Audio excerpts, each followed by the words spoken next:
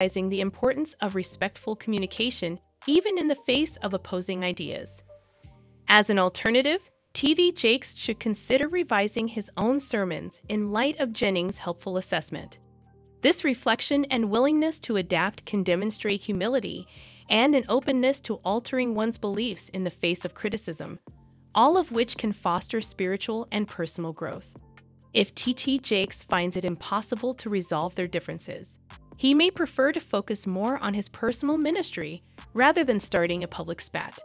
If you opt to disregard the criticism, you may be able to lessen tensions and allow each preacher to pursue their own route without causing unnecessary strife.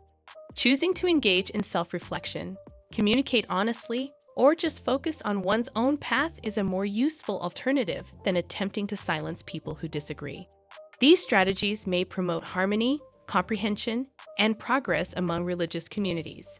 T.D. Jakes' desire to pursue legal action against people who discuss or criticize him raises concerns about free speech and the free exchange of ideas.